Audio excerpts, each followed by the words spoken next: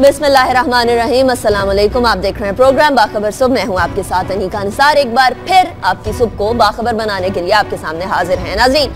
मुलाकातें तो बहुत सारी होती है। कुछ लंदन की मुलाकातें हों तो कुछ पाकिस्तान में मुलाकातें हों, अहम, लेकिन एक अहम मुलाकात आज होने वाली है, जिसमें वज़ीर आज़म साहब और आर्मी चीफ दोनों मुलाकात करेंगे ओवर अ टेबल और साथ ही कुछ खाने पीने का इंतज़ाम भी होगा। आर्मी चीफ को अलविदा, अलविदाइया भी दिया जाएगा और अलविदाइये में बहुत अहम उमूर के बारे में बात भी होगी। डेफिनेटली इनकमिंग आर्मी चीफ के बारे में बात होगी। इस हवाले से बात स्टार्ट करेंगे शो का आगाज़ करेंगे, लेकिन उससे पहले मैं अपने पैनल का तारुफ करवाऊँगी। मेरे साथ मौजूद हैं ब्रिगेडियर रिटायर्ड सैयद गजनफर अली साहब। गजनफर साहब, शुक्रिया आपने ज्वाइन किया। हमारे साथ मौजूद है खावर घुमन साहब भी। खावर साहब थैंक यू आपने ज्वाइन किया हमें। अब ये अलविदाया तो होगा गजनफर साहब। उसके अलावा मुलाकात भी होगी, अहम उमूर पे भी बात होगी। ये भी बात होगी डेफिनेटली कि इनकमिंग आर्मी चीफ कौन होने चाहिए। आपको लगता है मुशावरत की जाएगी और इस मुलाकात में ये जो एलओसी के मामला हो रहा है, इसके ऊपर भी बात होगी क्या?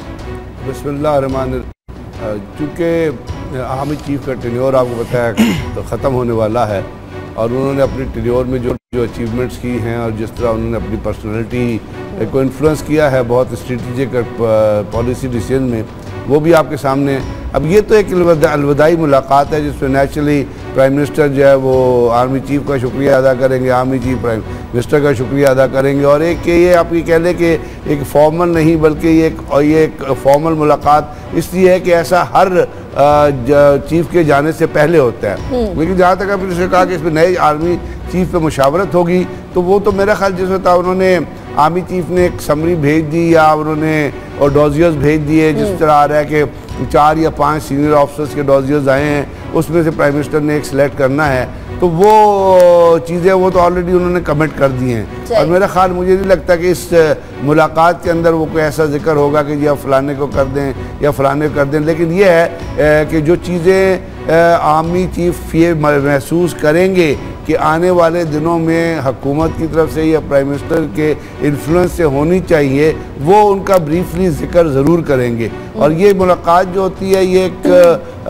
बड़े खुशगवार माहौल में होती है। और चूँकि आर्मी चीफ का अगर देखा जिस तरह, जितना जनरल शरीफ का टेन्योर रहा है तो उन्होंने कोशिश की है हद तक कि जो पोलिटिकल गवर्नमेंट जहाँ भी किसी प्रॉब्लम में हो, या लॉ एंड ऑर्डर का मसला हो, या इंस्टीट्यूशन का मसला हो, या अपना ऑर्गेनाइजेशन का तो उसको एक जैलिन करके साथ लेके चले। और जिसकी वजह से देखा कि आज आपको रेंजर्स पुलिस काउंटर डिपार्टमेंट एस बाकी जो इंटेलिजेंस सेटअप भी हैं वो आपको एक ही फोल्ड में और एक ही नेक्सेस में नज़र आ रहे हैं हम्म। तो नेचुरली मुझे लगता है कि वो कहेंगे कि जी इसी किस्म की पॉलिसीज़ जिसके ज़रिए हम काउंटर टेररिज्म या टेररिज्म को भी ख़त्म कर रहे हैं हम्म। उसको जो है वो कंटिन्यू करें और दूसरा बहुत इंपॉर्टेंट चीज़ मेरी नज़र में जो इस डिस्कशन में आएगी क्योंकि गालिबा उनकी आखिरी मुलाकात होगी इन कमांड उसके बाद प्राइम मिनिस्टर ने चले जाना है बाहर दौरे पे तो जो कल जो इंडिया का जो पॉलिसी पाकिस्तान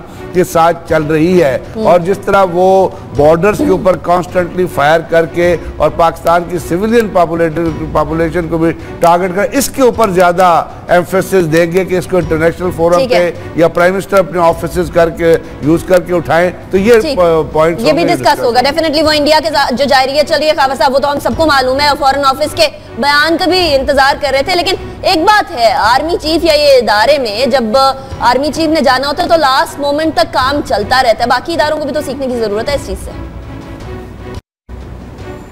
अनिका मैं थोड़ा सा वो ब्रिगेड साहब से मेरा थोड़ा सा इस पे इख्तलाफ है कि ये आ, मीटिंग सर्टनली एक अहमियत की हामल है। उसकी उसकी, उसकी मेन वजह यह है कि देखें जनरल रहील शरीफ ने पिछले तीन साल बड़ी कामयाबी के साथ ज़रब अजब को चलाया है। हम्म। उसके बाद अब यह है कि अब देखना यह कि उनके अंडर कमांड जो ऑफिसर्स हैं अब ज़रब अजब आखिरी मराहल के अंदर अगर इसको जब कामयाबी की तरफ़ कंप्लीट लेके करना है तो जनरल साहब को ऐसा इंसान चाहिए या ऐसा ऑफिसर चाहिए जो कि इसको कामयाबी के साथ एक, एक उसके उसको हम किनार करे। तो आप देखें किसको अपॉइंट करते हैं। सर्टनली प्राइम मिनिस्टर साहब का एक अपना वो एक उनका कॉन्स्टिट्यूशन रोल है। उनके पास ये राइट है कि वो मतलब जिसको चाहें वो अपॉइंट कर सकते हैं। हम्म। अब देखना ये है कि वो किसको अपॉइंट करते हैं और इस इस लिहाज से मेरे नज़दीक ये काफ़ी अहमियत की हामल है मीटिंग जी। यानी यू थिंक इसके अंदर इसके अलावा भी बहुत सारी चीज़ों पर डिस्कस होगा गजनफर साहब अग्री करते हैं डिसअग्री करते हैं इस चीज़ से कि और भी बहुत सारी इंपॉर्टेंट चीज़ें तो सिर्फ़ मैं तो आपसे अर्ज़ किया कि तीन इश्यूज़ होंगे मैं आपको बता जी। पहला इशू होगा जो जो जो पॉलिसीज़ है उनकी कंटिन्यूटी के हिसाब से। दूसरा इशू होगा जो डिपार्टमेंट्स के अंदर जो जेलिंग हुई है। हम्म। तीसरा सबसे इम्पोर्टेंट इशू मेरी नज़र में इस वक्त है क्योंकि आपने देखा कल की आर्मी चीफ जो है वो टेन कोर में गए थे और टेन कोर में उनकी ब्रीफिंग हुई और वहाँ टेन कोर में हेडक्वार्टर में उन्होंने कोई स्ट्रेटजी और कोई पॉलिसी और कोई नया इनिशिएटिव लेने के लिए आर्मी को कहा होगा और ज़रूर उसमें मुझे लगता है कि ये डिस्कस हुआ होगा कि अब इंडिया के जो चोक पॉइंट्स हैं या उनकी कम्युनिकेशन लाइनअप जो है इससे पहले भी आपने देखा कि कम्युनिकेशन लाइनअप जो उनकी कारगिल में थी जो सिर्फ़ 100 परसेंट बिल्ड करती है आर्मी को क्योंकि ये जो है ना नीलम वैली रोड जो है ये आपको पता आपको आपके अगर आप पीछे आए माजी में तो इससे पहले भी कोई सात आठ साल बंद रही है। ये इसके ऊपर ट्रैफ़िक नहीं चलती थी और ट्रैफ़िक जो थी वो लेसवा बाईपास एक है जो नौसेरी से ऊपर चढ़ता है और वो जाके जूरा के सामने नीचे निकलता है तो इस तरह तो इस तरह वो इलाका अवॉइड करते हैं Right. तो इन पे इस पे ज़्यादा बहस बात होगी। बाकी तो नॉर्मल मैटर्स है वैसे ये भी बड़ा मैटर करता है कि खाना किस तरह का होगा पता है वज़ीर आज़म साहब का खाने पे भी बड़ा डिपेंड करता है लेकिन अ, खाने की बात करें खबर साहब अगले टॉपिक की तरफ़ चलते हैं खाने की बात करें तो बड़े इल्ज़ाम लगते हैं हमारे एमएलए पे एमपीएस पे कि कौम का पैसा खा रहे हैं लेकिन कुछ लीगलाइज चीज़ें भी तो होती हैं। लीगलाइज चीज़ों में ये भी है कि तनख्वाहें बढ़ गई अब वजी आज़म साहब ने अप्रूव कर दिया तनख्वाहें बढ़ा दी पार्लियामेंटेरियंस की। चालीस करोड़ का खर्चा आएगा। खाबर साहब ये अफरात जर की बुनियाद पर बढ़ाए जा रहे हैं। जितना अफरात जर बढ़ा ये अफरात जर की वजह से मिनिमम वेजेस क्यों नहीं बढ़ती? अनिका ये वैसे एक कल से जो खबर चल रही है मैंने कल भी एक बीपर दिया था इसके ऊपर। ये खबर जो है ये डिसीज़न हो चुका है ये बजट पास हुआ था तब सारी पॉलिटिकल पार्टीज़ ने मिलकर ये फैसला किया था। अब ये है कि अब कल फेडरल कैबिनेट में इसको पास कर दिया है। कल भी हमने ये इस पे ज़िक्र ये किया था कि ये जो इंक्रीज हुआ है इसको परफॉर्मेंस बेस कर दें। इसको हरगिज इस पे नहीं रखें कि जी आप आए या ना आए हाउस में आए या ना आए वहाँ पे अटेंडेंस दें या ना दें। उसमें हिस्सा लें या ना लें पार्लियामेंट की प्रोसीडिंग्स के अंदर आप शामिल हो या ना हो। लेकिन आपके साथ साथ मतलब ये है कि उसके साथ इसको परफॉर्मेंस बेस कर दें तो उसके साथ इसको अटैच कर दें। सिंपल सी बात है। अब ये है कि 146 फ़ीसद आपने इसको ये ये बढ़ाई हैं सारी तनहाएँ। तो अब ये देखना यह है कि क्या ये पार्लियामेंट इतने पार्लियामेंटेरियंस इतनी ज़्यादा तनहाएँ लेके अपनी परफॉर्मेंस पे भी उतना ज़्यादा ज़ोर डालेंगे कि या फिर वही होगा कि हाजिरी लग जाएगी, उनको मिल जाएँगे टी मिल जाएँगे, घर में सैलरी चली जाएँगी और दैट्स इट तो ये बड़ी बार बार ये मेरा इस पर यही कहना है। नहीं नहीं मैं वही कह रहा हूँ मेरा इस पे यही कहना है। तनख्वाहें भी मिल रही हैं। नहीं अनिका मेरा इस पे शुरू दिन से यही है कि इसको जिस तरह किसी भी पब्लिक सेक्टर या गवर्नमेंट सेक्टर के अंदर जब आप काम करते हो कि आपकी अटेंडेंस उसमें मैटर करती है। आप जाते हैं तो फिर आपको तनख्वाह मिलती है। तो यहाँ पे भी काम हो हाजिरी हो वहाँ पे वो पार्टिसिपेट करें तो फिर हाजिरी ये तनख्वाह मिलनी चाहिए ऐसे तनख्वाह नहीं मिलनी चाहिए। तो इस तरह का अच्छा मैकेनिज्म बढ़ रही है महँगाई देखें बढ़ रही है। हमारे पार्लियामेंटेरियंस को भी ज़रूरत है क्यों गजनफर साहब आपके हमारे पार्लियामेंटेरियंस की महँगाई नहीं बढ़ी। उन्हें बस ये याद नहीं रहता कि वो जो मजदूर तबका है उसकी बारह हज़ार से तेरह हज़ार तेरह हज़ार से चौदह हज़ार मिनिमम वेज करती है। उनके उनके ऊपर महँगाई लागू नहीं होती कल पार्लियामेंटेरियंस अगर आपने कल अगर आपने देखा हो पार्लियामेंट में तो खुर्शीद शाह साहब ये कह रहे थे कि जी मैं किसके सामने कोई बात करूँ? यहाँ तो मतलब पंद्रह बंदे बैठे हुए थे पार्लियामेंट के अंदर। पूरी दुनिया में रूल है हम क्यों एक अपने आप को बनाना रिपब्लिक के तौर पर पेश कर रहे हैं? पूरी दुनिया में डेमोक्रेसी के जमूरीत के पार्लियामेंट के और ऑफ़िस के चलने के कुछ असूल हैं। कुछ आपकी छुट्टियाँ सेंक्शन होती हैं, कुछ आप मेडिकल लीव ले सकते हैं कुछ आप जो है हाफ़ लीव ले सकते हैं और कुछ छुट्टियाँ आप ले तो उनकी पेमेंट नहीं होती है। अब ये पार्लियामेंट कोई उन अदारे से कोई बढ़ के बड़ा अदारा है इस पार्लियामेंट ने तो मिसाल कायम करनी है। और ये मिसाल क्या कायम कर रही है? ये मिसाल कायम कर रही है कि लोग वहाँ पे मौजूद नहीं होते। ये मिसाल कायम कर रही है कि लोग वहाँ टी लेते हैं। ये मिसाल कायम कर रही है कि वहाँ पे जो उनकी रेजिडेंस और अकोमोडेशन है उनको वो वहाँ पे देख लिए क्या होता है। उसके मुतालिक बड़ी स्टोरीज अखबारों में आई है। ये मिसाल इसके साथ साथ एक और चीज़ आप भूल रही हैं। इन सबको मिलता है डेवलपमेंट बजट और उस डेवलपमेंट बजट में इनका कट होता है। अब ये तमाम चीज़ें जब मौजूद हैं और आपने कहा कि जी आप पार्लियामेंट में कोरम भी पूरा नहीं होता कल की कल की क्लिपिंग खुर्शीद शाह साहब की उठा के देख ले। मैं अपनी तरफ़ से नहीं कह रहा कि वो क्या कह रहे थे और उसको नेशनल न्यूज़ पे चली भी है कि वो अपना स्पीकर को कहते हैं कि किधर हैं लोग मैं किससे बात करूँ? पर- और दूसरी बात ये जो आपके हेड ऑफ़ द पार्लियामेंट हैं वो तो अब पार्लियामेंट में जाते ही नहीं हम्म। है उनकी परफॉर्म वो कितनी दफ़ा पार्लियामेंट में गए मेरे ख्याल दस या पंद्रह दफ़ा वो पार्लियामेंट उस दिन जब वो धरने का उनको अपना खतरा था कि मुझे कुछ हो जाएगा तो वो छह दिन जाके पार्लियामेंट में बैठ रहे हैं। यानी टाइम उनके पास है वक्त प्राइम मिनिस्टर साहब के पास है लेकिन वो वक्त पार्लियामेंट में नहीं गुजार सकते। वो वो बाकी चीज़ों पे बाहर चले गए विज़िट पे चले। तो बात ये है आप कल हम इमरान खान की बात कर रहे थे। जी खबर साहब। जी जी। कल कल का भी सेशन जो रात को खत्म हुआ था वो कोरम नहीं था। लोग अ, 86 मेंबर्स वहाँ पे हाउस में नहीं था। जब ये कोरस को कोरम को ये एंड किया गया था मैं यही बंदे कह रहा नहीं था, वहाँ खबर पे साहब नहीं कि वो- कोरम हुआ तो एंड हो गया जी जी वो मैं यही आपसे कह रहा था कि। खुर्शीद साहब साहब रात को नेशनल न्यूज़ में ये आ रहा था हम्म। तो अब जहाँ पे कोरम नहीं है लोग जाते नहीं हैं। उनकी तनख्वाहें बढ़ाए तो ये तो इनडायरेक्ट करप्शन आप इंस्टिगेट कर रहे हैं ना हम्म। कि एक आदमी काम ही ना करे आप उसको गवर्नमेंट ऑफ़िस में क्या होता है आठ बजे से तीन बजे तक आपने आप काम करें ना करें आठ बजे से तीन बजे तक आपने बैठना होता है है, भाई ये सबसे बड़ा अदारा है इधर लोग जाते नहीं है कोई आप पार्लियामेंट का परफॉर्मेंस उठा के देख लें कि उन्होंने इन दिनों में कितने लॉज अच्छा देखिए मैं आप और कावत साहब भी तो आ रहे हैं ना गजनफर साहब रोज आते हैं वो लोग क्यों नहीं आ सकते? हालाँकि उनका ये ये बहुत गलत प्रेसिडेंट है। ये डेमोक्रेटिक वैल्यूज़ नहीं है। ये जमहूरियत की वैल्यू ऐसी जमहूरियत नहीं चल सकती और ऐसी जमहूरियत मुल्क में नहीं होनी चाहिए। जी खावर साहब। अनिका इसका रिस्पांस ये है कि आपने जो लोकल गवर्नमेंट्स है जिनको काम करने हैं गली मोहल्लों के वो आपने फंक्शनल नहीं की। तो वो फिर सारे काम आपने वो भी करने हैं यहाँ से बजट लेके जाना है तो वो जब तक करेंगे नहीं इन प्लेस नहीं करेंगे। असल जमहूरियत तो लोकल गवर्नमेंट्स हैं तो वो है नहीं है। तो जिसकी वजह से ये सारे मामला हैं जी। लोकल गवर्नमेंट तक डेवलपमेंटल फंड पहुँचाने पड़ेंगे खावर साहब। वो डेवलपमेंटल से आएगा फिर? ठीक है। चलिए, अगले जो टॉपिक मिलता है, वो नहीं मिलेगा ना। Quickly चलते हैं अगले टॉपिक की तरफ़ चलते हैं। नैब की बात कर लेते हैं। अकाउंटेबिलिटी तो आखिर नैब नहीं करनी होती है ना तो नैब ने अकाउंटेबिलिटी की बात स्टार्ट की है। किसकी स्टार्ट की है? अद्वियात पर all of a sudden price rise हुई थी। आप लोगों को याद होगा अद्वियात की किल्लत हो गई थी। किल्लत के बाद कीमतें एकदम से आसमानों को छूने लगी थी और अब ये सामने आया है कि उन कीमतों को आसमानों तक छूने के लिए कहानी क्या थी खावर साहब? किस किस ने फ़ायदा उठाया? कौन कौन इन्वॉल्व था? एक अरब की बात हो रही है। अनिका ये पार्टी के दौर के अंदर करप्शन के बहुत ज़्यादा केसेस हुए और बे, बेशुमार किस्म के केसेस सामने आए। लेकिन ये केस एक खास नवीयत का है। इसमें हुआ ये कि उस जमाने का जो ड्रग प्राइसिंग कंट्रोल कमेटी थी उस उसने और, और कुछ कंपनीज़ ने मिलके अ, कुछ कीमतें बढ़ा दी। और बाद में ये पता चला कि बाहर से जो अद्वियात आ रही थी उनकी कीमत जैसे फ़र्ज़ करें उस पर यूरो लिखा हुआ था। तो इन्होंने एग्री किया कि उसको यूरो को पाउंड में कन्वर्ट कर दें। इसी तरह के सारे मामला थे वो कर कर आके जो पता चला बाद में आम लोगों की जेबों पे कोई एक बिलियन का ये डाका इन्होंने डाला। अब उसमें भी ज़्यादा जो हैरान कन बात है, वो जो एक मिलियन का डाका डाला है, उसको अब यह है कि उसमें कुछ 400 मिलियन इन्होंने रिकवर तो किया है, वो प्ली बारगेन में, लेकिन वो 400 बिलियन इन्होंने गवर्नमेंट के खाते में डाल दिया है।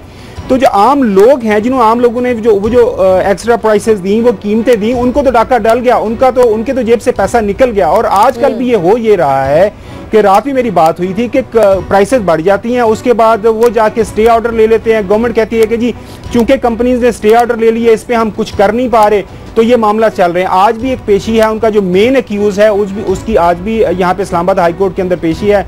कोई अरशद नामी साहब हैं एक बिलियन का ये डाका आम लोगों की जेब- पे डाला था। ये वो लोग, आम लोग नहीं है, वो लोग हैं बेचारे बीमार, जो हॉस्पिटल जाते हैं, जो जो बिल्कुल आप परेशानी की हालत में होते हैं तो उनकी जेबों पे ये डाका डाला गया है। और ये मेरे ख्याल में आज की तारीख के अंदर जो हमारे मुल्क के हालात चल रहे हैं करप्शन तो सारे मामला में चल ही रही लेकिन इस तरह की करप्शन की मेरे ख्याल में ये खास एक एक खास ही नोयत का ये वाक़ है। और इस पे इसको मेरे ख्याल में जितना ज़्यादा से ज़्यादा हम मीडिया में हाईलाइट कर सकते हैं इस पे बात कर सकते हैं करनी चाहिए। और ये जो लोग इसमें शामिल हैं उनको सख्त से सख्त सजाएँ मिलनी चाहिए। मेरे ख्याल में इनको अगर चौकों पर भी लटकाया जाए तो इसमें मेरे मेरे मुबालगा राय नहीं होगी। क्योंकि ये आप उन लोगों से आप पैसे वसूल करते हैं उन लोगों की जेबों पर डाका डालते हैं जो कि मजबूर हैं जो कि लाचार हैं जिनके मजबूरी की हालत में आपको पता है कि पाकिस्तान के अंदर हेल्थ सेक्टर के हालात क्या हैं? आप किसी हॉस्पिटल में चले जाएँ वहाँ पे जो हालात हैं वहाँ पे उसके बाद वहाँ से आपने दवाई लेने के लिए जाना है तो आपको वहाँ पे भी डाका डाल रहा है। तो आपने करना क्या है? इस मुल्क को आपने तो चलाना क्या है? आप लोगों की ज़िंदगी खत्म होगी। ये तो तब पता चलेगा जब हमारे इलाज इधर करवाएँगे तो फिर उनको पता चलेगा ना। क्यों गजनफर साहब? देखिए देखिए अनिका आपने कल है। आपने कल आपने कल बैठ के जो नेशनल असेंबली के अंदर तो 146 परसेंट आपने अपनी तो सैलरी इंक्रीज कर ली। वहाँ पे आपको बीमारी होती है तो आप प्राइम मिनिस्टर से स्पेशल अप्रूवल लेके आप लंदन भी चले जाते हैं आप अमेरिका भी चले जाते हैं। लेकिन आम लोग बेचारे जिसने जिसने यहाँ से दवाई लेके देनी है खानी है कम से कम उसको ये सहूलत तो दे। कि वो उसको असल दवाई मिल जाए उसको ओरिजिनल प्राइस पे दवाई मिल जाए। जी। मैं तो फिर वही बोलूँगी पता तो जब चलेगा जब इलाज इधर होगा। गजनफर साहब असल में बात यह है तो इलाज की बात तो है ही लेकिन जब पार्लियामेंटेरियंस पार्लियामेंट में बैठेंगे लॉज बनेंगे सीरियसनेस होगी मिनिस्टर को पता होगा तब ये होगा ना। यहाँ तो इलिटिज्म में क्या होता है? अभी पीसीबी में शहरियार ने क्या किया है? कहते हैं बहुत बड़े अमीर आदमी है वो सिक्सटी कितने पैसे लेके अपना 67 बाहर लाख। Sixty seven lakh. रुपया लेके बाहर इलाज कराने चले गए।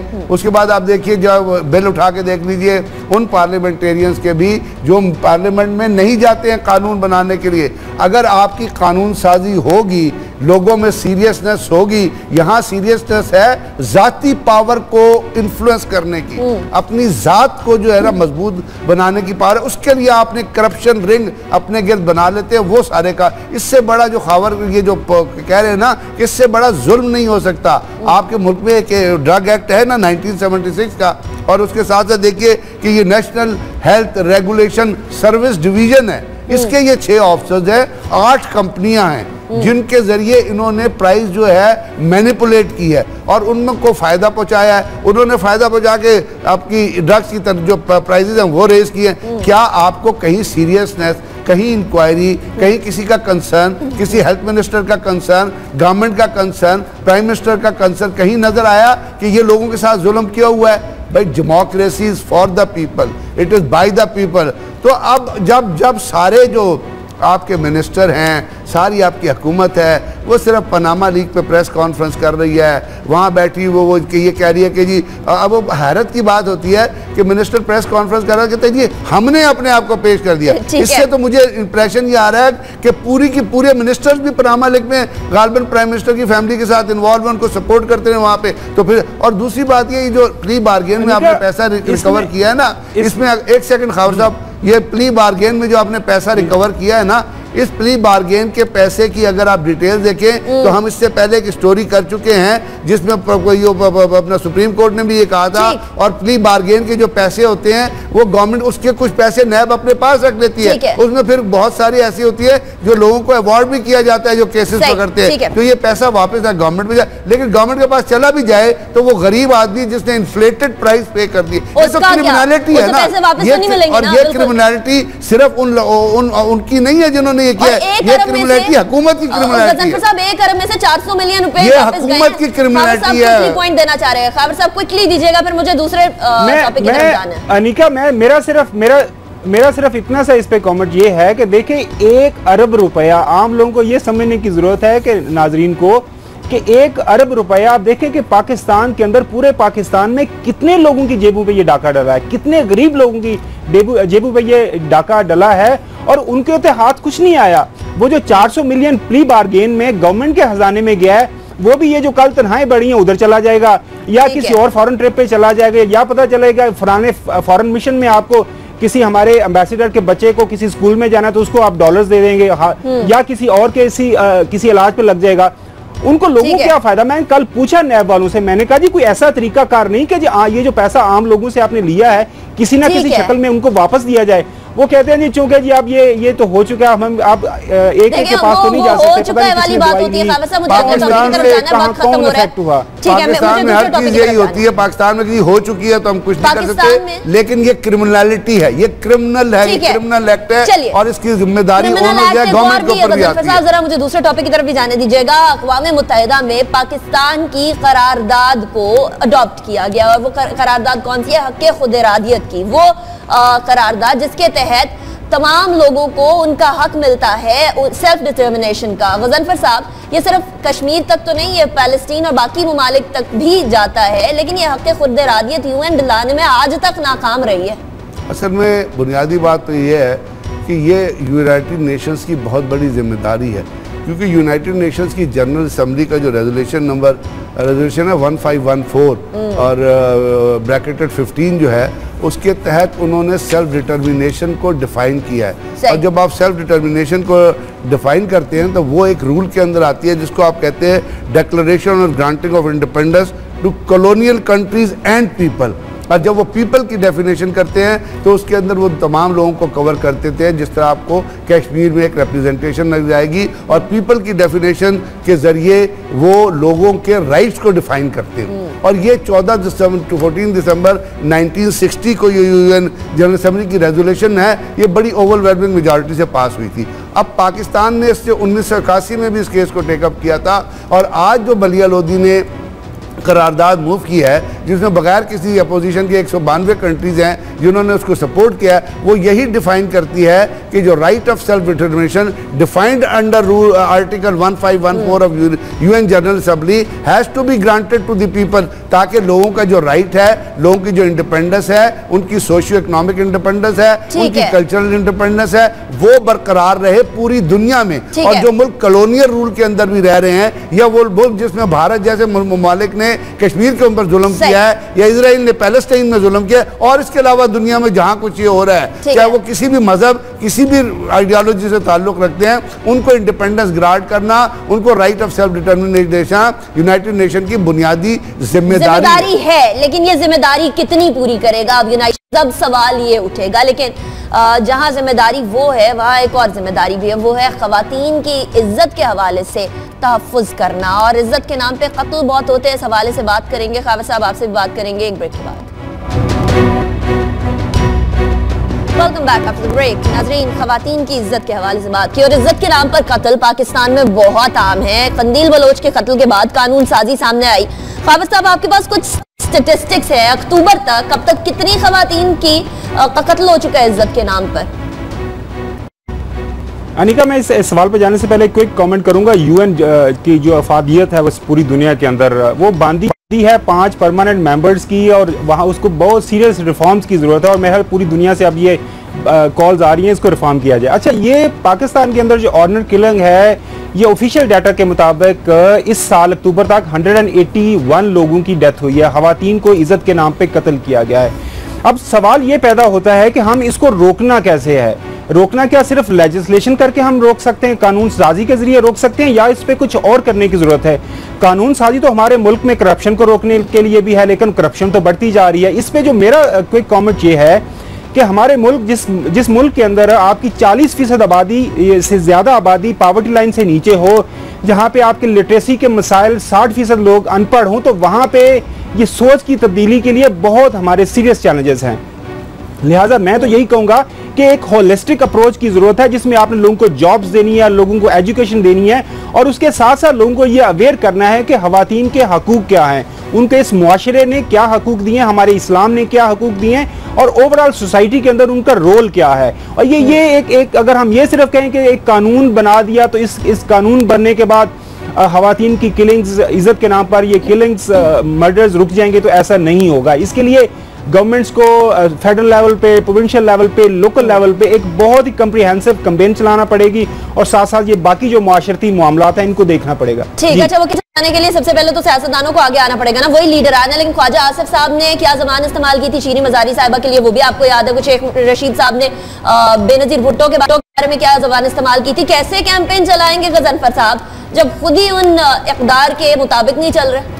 एक तो ये बात ठीक है कि सिर्फ़ लॉज इनेक्ट करने से आप किसी चीज़ को नहीं रोक सकते क्योंकि कवानीन तो ट्रैफ़िक के कवानीन भी है रोज़ाना आप देखिए अब जो लोग तो कवानीन तोड़ रहे होते हैं जुर्माना होने के बावजूद। मेरी नज़र में जो है ना बहुत इंपॉर्टेंट चीज़ जो है वो एक तो रोल पॉलिटिशियंस का पार्लियामेंटेरियंस का तो आपने ठीक कहा है ही लेकिन ये है कि ये जो आपके मुख्तलिफ़ जब जाते हैं ना आप अर्बन एरिया से लेकर के रूरल एरियाज़ में ख़ासतौर जाते हैं ये जो जरगास बने हुए हैं ना ये जो पंचायत बनी हुई हैं ये जो आप ये पिछले दिनों आपने कहा हरिपुर में एक केस हुआ मानसरा के वो वहाँ वहाँ पे एक औरत को जो है उसकी बच्चे शादी जो है वो ज़बरदस्ती जो कुछ अब उसको रिपीट नहीं करना चाहिए ये जो है ना इनको तो आपने बिल्कुल बहुत ही स्ट्रॉन्ग लेजिस्लेशन के ज़रिए और इसकी जो डिस्ट्रिक्ट एडमिनिस्ट्रेशन है उसके प्रेशर के ज़रिए इनको तो इमीडिएटली ख़त्म करना है आप क्योंकि दो किस्म की चीज़ें एक तो इंडिविजुअल कर रहे हैं जो औरतों के साथ कर रहे हैं। एक हमारे यहाँ बहुत सारी आपको पंचायतों और एक वो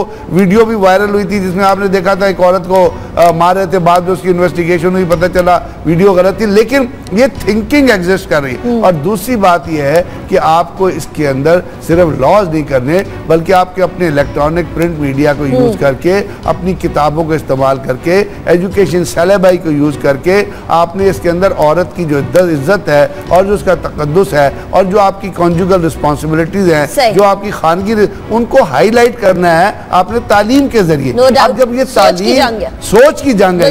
और उसको आपने आइडेंटिफाई हाईलाइट करना है अपने प्रिंट और इलेक्ट्रॉनिक मीडिया उसके ऊपर कुछ सेमिनार होने चाहिए। ठीक। तो गवर्नमेंट को हम कहते हैं जी वहाँ पे हो गया डीसी को बता दिया केस रजिस्टर हो गया केस रजिस्टर होने से आपने वो तालीम नहीं फैलाई जो तालीम। तो अगर इसको कॉम्प्रिहेंसिव तौर पे करेंगे और लेजिस्लेशन से इनेक्ट करके आप अपने एजुकेशन लेवल और अप्राइजिंग लेवल को और नॉलेज लेवल को बढ़ाएँगे तब आप मैंने जैसा पहले भी कहा आपने भी जंग है एक किसी भी शख्स को ये समझने की ज़रूरत है कि एक औरत से जन्म लिए हुए शख्स को एक औरत पे जुल्म करते हुए शर्म आनी चाहिए इसके अलावा क्या कहा जा सकता है लेकिन अगली स्टोरी की तरफ़ चलते हैं और अगली स्टोरी बात करेंगे सियासतदानों के हवाले से, जहाँ सियासी सरगर्मियाँ वो बात एक तरफ़, लेकिन सियासी शख्सियात पर रूहानी शख्सियात की करामात भी बहुत है, और ये कुछ नवाज़ शरीफ साहब के बारे में आसिफ जरदारी के पीर ये फरमाते हैं कि अगले इलेक्शन तक वो सेफ़ हैं, और दूसरी तरफ़ इमरान खान साहब भी पीछे नहीं है। वो भी एक अंगूठी छोटी उंगली में में अंगूठी पहनकर आए हैं लंदन से।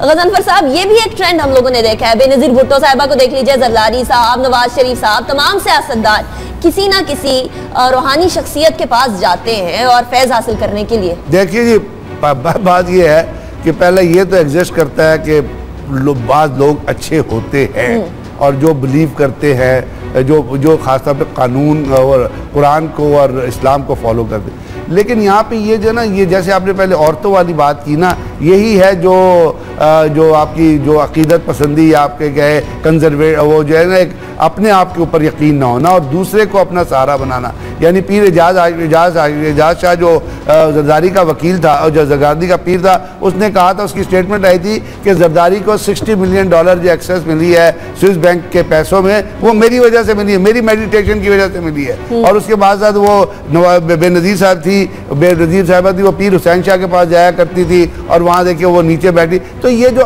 ये रासखुल अकीदा पसंदी है ना ये बड़े बड़े एजुकेटेड लोग में इसीलिए औरतों के साथ भी जुल्म होते हैं। ये जब तक आप अपने जब भाई अल्लाह ताला है खुदा ताला ने कहा मुझसे मांगो। तो आप देखिए बात पीरों के घर में जाएँ उनके अपने घर खाने के लिए नहीं होगा लोगों को वो तावीज़ दे रहे होंगे। तो ये कारोबार बना हुआ है। ये कारोबार हमारे हुकूमती अदारे जो है वो हुकूमत के जो लोग हैं वो भी चलाते हैं कोई अंगूठी पहन लेता है एक वो पीर तिनका होते थे जो जो जाते थे बेनजीर जाती थी तो वो तिनका मारा। तो ये ये जो मुख्तलिफ़ किस्म के पखंड जो है ना साहब, ये हमारे यहाँ इस पे मैं- मैं- इस पे ये चीज़ें जो है दूँ। ये मतलब ये बहुत अनएजुकेटेड सी अच्छा चीज़ें हैं। खावर साहब आप इंटरेस्टिंग चीज़ ऐड करना चाह रहे हैं साथ ही मुझे ये भी बता दें इमरान खान साहब तो जब भी अंगूठी पहन के आते हैं उनकी तो शादी के साथ रिलेट कर दी जाती है।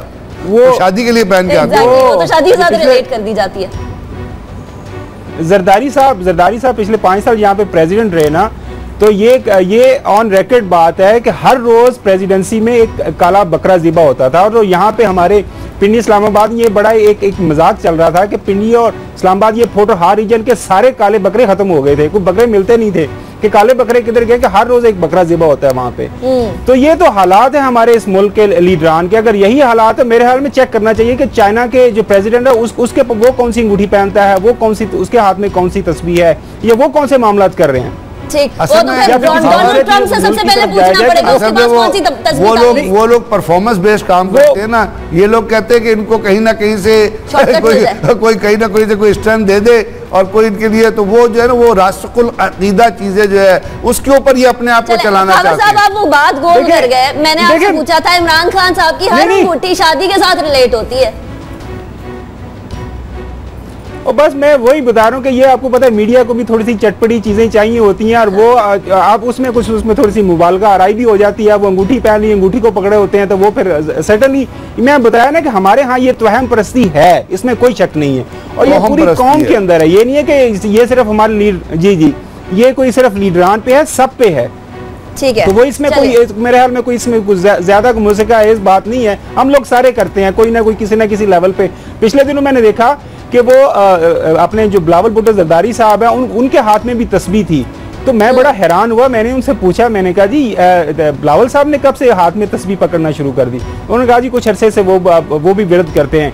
तो बड़ा अच्छा लगा चले कि हमारा यंग लीडर है लेकिन वो भी एक एक एक वो मेरा ख्याल वो मेरा ख्याल खबर तो वो जब से फजल रहमान से मिले हैं ना उन्होंने उन्हें कोई तस्वीर में कोई दानों में कोई चीज़ बताई है करने के लिए जो वो करते हैं और मुख्तलिफ़ तरीकों से अगर तो- साहब अगर तो फजल रहमान तो साहब से उन्होंने वो ट्रिक्स लिए तो फिर वो नहीं अगर तो फजल रहमान साहब से उन्होंने ट्रिक्स लिए सियासत के तो फिर तो वो बहुत कामयाब होंगे क्योंकि फजल रहमान साहब 2000 हज़ार से बाद ये भी हर गवर्नमेंट का हिस्सा है अभी भी उनके पास मिनिस्ट्री है। उन्होंने ये भी कहा होगा कोई पेट्रोल डीजल को इसके ऊपर कोई डीजल के ऊपर कोई पेट्रोल के ऊपर कोई एम्फोसिस ले करो। ठीक है अच्छा चलिए सियासत में कामयाब होने के सामने कामयाब होने की भी ज़रूरत है, लेकिन अगले टॉपिक की तरफ़ बढ़ते हैं और काम में कामयाबी की बात करते हैं। दिफाई तौर पर पाकिस्तान ने एक एक ट्रेंड सेट किया आइडियाज़ के नाम से हर साल एक एक नुमाइश मुनद की जाती है एग्जीबिशन मुनद की जाती है और 2016 की नुमाइश जारी है, जिसके अंदर पाकिस्तान को बड़ी कामयाबियाँ हो रही हैं गजनफर साहब वो बावन के करीब तैयारों, मशाक तैयारे तुर्की ले रहा है, फिर हमारी जिस तरीके से हम लोगों ने जे एफ़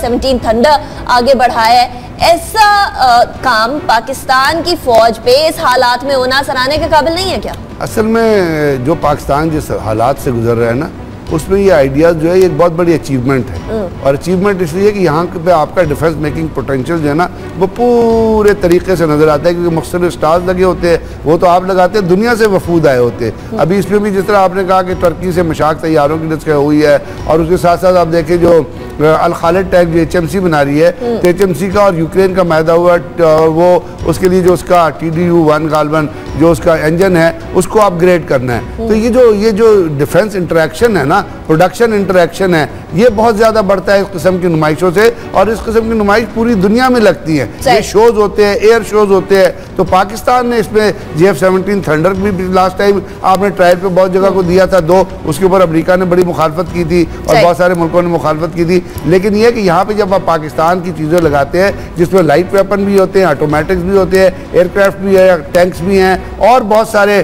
टेक्निकल चीज़ें हैं तो उससे जो आने वाले वफूद होते हैं उनको पता चलता है कि पाकिस्तान में वो सारा कुछ थिंग है जो दुनिया में प्रोजेक्ट कर रहा है। ये बहुत सारे जो एवेन्यूज हैं उसमें तरक्की की राह पे गामजन है और बहुत बड़ा है डिफेंस प्रोडक्शन और आपको पता है अमेरिका का बहुत बड़ा बजट जो है डिफेंस इंडस्ट्री से चलता है। इसीलिए तो दुनिया में जंगें नहीं रुकती है कि अगर दुनिया में जंगें रुक जाएँ तो उनको एक्सपेरिमेंट की जगह नहीं मिलेगी। तो यहाँ भी हाँ। एक्चुअल टेस्ट केस नहीं मिलेगा। तो ये पाकिस्तान की भी एक प्रोडक्शन का तो कमेंट करना है। खावर साहब आपने इस पे।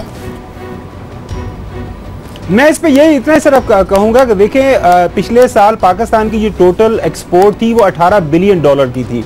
और उस 18 बिलियन डॉलर में एक बिलियन डॉलर सिर्फ़ एक फैक्ट्री हमारी पाकिस्तान ऑर्डिनेंस जो वाह फैक्ट्री है उसकी थी।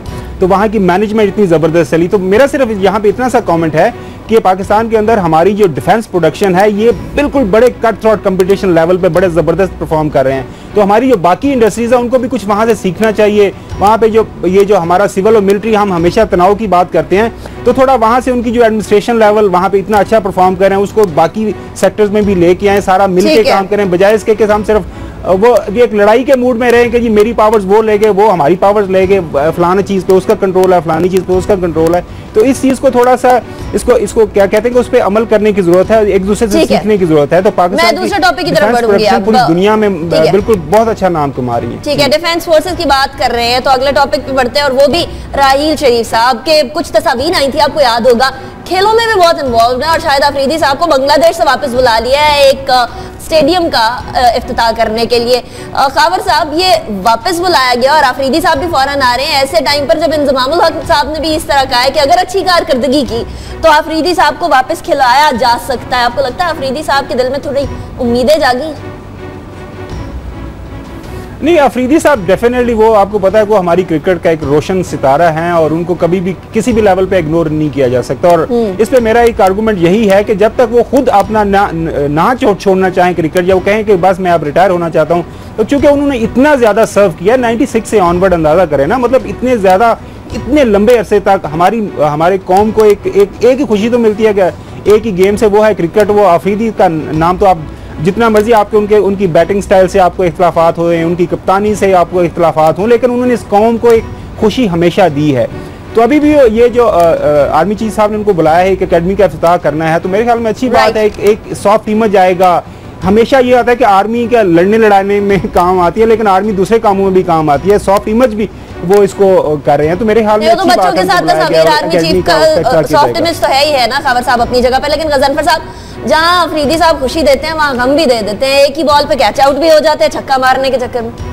देखिए आफरीदी की कंट्रीब्यूशन जो पाकिस्तान क्रिकेट में उससे तो आप डिनाई नहीं कर सकते। बाद बाज़ जगह पे उनका बिहेवियर ऐसा रहा जैसे वो गेंद खाने का मामला था कि वो चीज़ें थी। लेकिन आप देखिए ना क्रिकेट में कितने कितने अभी यही चीज़ें असल में क्रिकेट में डबल स्टैंडर्ड और सियासत बहुत है। अब पिछले दिनों वो फैफ डिप्लोसी ने कोई बॉल टेम्परिंग की तो उसको सजा दे दी गई विराट कोहली के परसों से चल रहे हैं टिकर चल रहे हैं कि जो उसने बाल को टेम्पर किया है लेकिन आईसीसी खामोश बैठी है क्योंकि आईसीसी इंडिया डोमिनेटेड है हम्म। अब जहाँ तक ये तो खैर हम बात करते हैं पाकिस्तान में पाकिस्तान आर्मी का ना बहुत बड़ा कॉन्ट्रीब्यूशन है स्पोर्ट्स में आपको पता है कि चाहे हॉकी है टेनिस है फुटबॉल है आपका ये अपना एथलेटिक्स है हर एक में आर्मी कंट्रीब्यूट करती है और आर्मी बहुत सारे जो है कॉम्पिटिशन ऑर्गेनाइज कराती है। और शाहिद आफरीदी को जन राहिद शरीफ की आपस में दोस्ती भी है और क्योंकि शाहिद रफीदी के नाम से स्टेडियम भी बन रहा है तो मेरा ख्याल ज़रूरी है कि वो वहाँ पे ज़रूरी है। और वो आ रहे हैं ये भी अच्छी बात है वो कुछ उनकी रिटायरमेंट के हवाले से शुरू हो गए थे जावेद मियाँ साहब और उनके दरमियान वो ख़त्म भी हो जाए तो बेहतर बात है लेकिन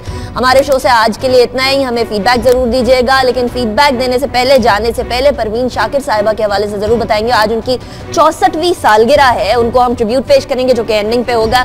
उससे पहले फीडबैक के लिए बाखबर सुबह के नाम से फेसबुक ट्विटर दोनों पर मौजूद है। अपना बहुत ख्याल रखिएगा। पाकिस्तान और पाकिस्तानियों के लिए दुआ गो रहिएगा अल्लाह हाफिज़। भी तेरा ख्याल चौबीस नवंबर उन्नीस सौ बावन। रोशनियों के शहर कराची में आँख खोलने वाली अजीम शायरा संतफ नाजुक की हकीकी मानों में तर्जुमान, परवीन शाकिर ने अपनी शायरी से कई दिलों को मोह लिया। अपनी शायरी में बीना के तखल्लुस से मशहूर परवीन शाकिर का पहला मजमुआ कलाम खुशबू उनको शहरत की बुलंदियों पर ले गया। फैल गई बात की, उसने खुशबू की तरह मेरी उनकी शोहराय आफाक शेरी मजमुओं में इनकार, सदबर, खुद कलामी, अक्स खुशबू, माह तमाम और कफे आईना शामिल है।